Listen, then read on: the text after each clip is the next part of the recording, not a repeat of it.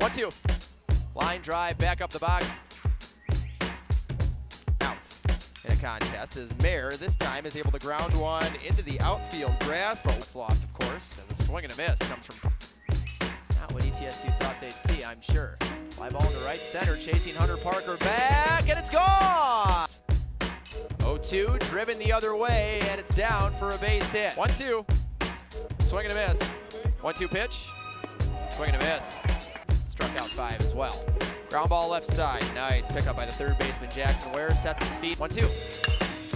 High fly ball to the right field line. Going to be a long run for Truitt. Does he have room? Oh, he jumps on the foul line. Bravo the 1 2.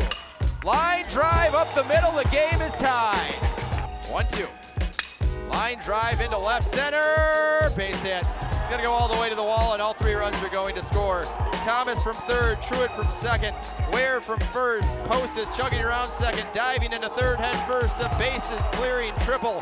Mercer has put up four runs in the top of the ninth.